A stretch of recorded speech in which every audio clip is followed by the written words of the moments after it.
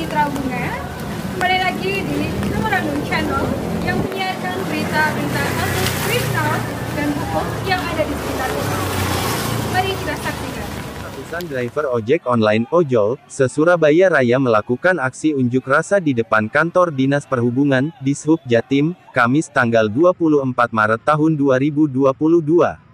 Arus lalu lintas dari arah selatan, yakni Bundaran Waru menuju utara, atau Wonokromo sempat tersendat.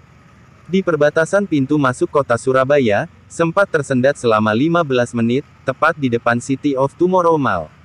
Humas Front Driver Ojek Online Anti Agregator Frontal Jatim, Daniel Lukas Rorong mengatakan, peserta aksi awalnya menggelar demonstrasi ke kantor aplikator dan gedung negara Gerahadi.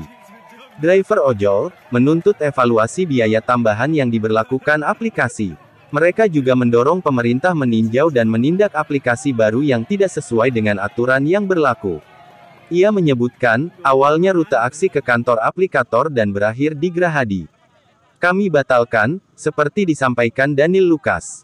Daniel Lukas Rorong menyampaikan Dirjen Hubdar sampai ke kantor Dishub Jawa Timur. Peserta aksi kembali ke Dishub, terang Daniel.